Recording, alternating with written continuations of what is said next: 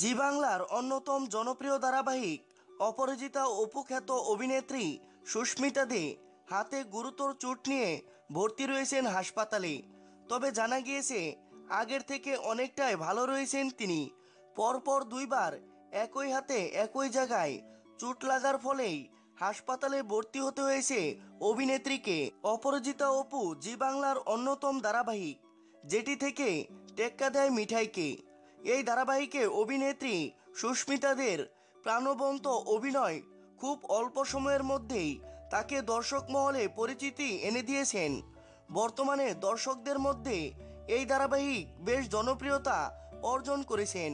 এই ধারাবাহিকের অনুরাগীদের সংখ্যা নেহাতই কম নয়। জানা গিয়েছে, কিছুদিন আগে পর্যন্ত হাতে চুট নিয়ে শুটিং চালিয়ে গিয়েছিলেন অভিনেত্রী। তবে দ্বিতীয়বার ওই একই হাতের একই জায়গায় গুরুতর চোট লাগায় অসহ্য যন্ত্রণা সহ্য করতে হচ্ছিল অভিনেত্রীকে। তাই সেই সময় তাকে হাসপাতালে ভর্তি করে দেওয়া হয়। সম্প্রতি হাসপাতাল থেকেই একটি ছোট্ট ভিডিও শেয়ার করেছেন অভিনেত্রী, যা থেকেই জানা গিয়েছে অভিনেত্রীর হাতে চোট নিয়ে হাসপাতালে ভর্তি রয়েছেন। এই প্রসঙ্গে অভিনেত্রী জানিয়েছেন, বাড়িতে পড়ে গিয়ে হাতে গুরুতর চোট পেয়েছেন তিনি। সেই কারণে হাসপাতালে ভর্তি রয়েছেন। তবে এখন আগের থেকে অনেকটাই ভালো রয়েছেন বলেই জানিয়েছেন তিনি।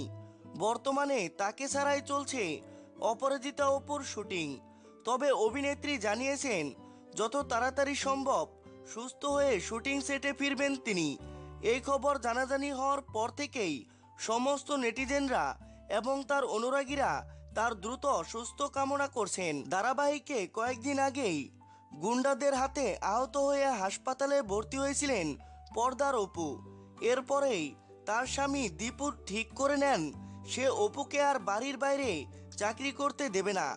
কারণ বাড়ির বাইরেটা তার জন্য নিরাপদ নয় বলেই মনে করেন সে।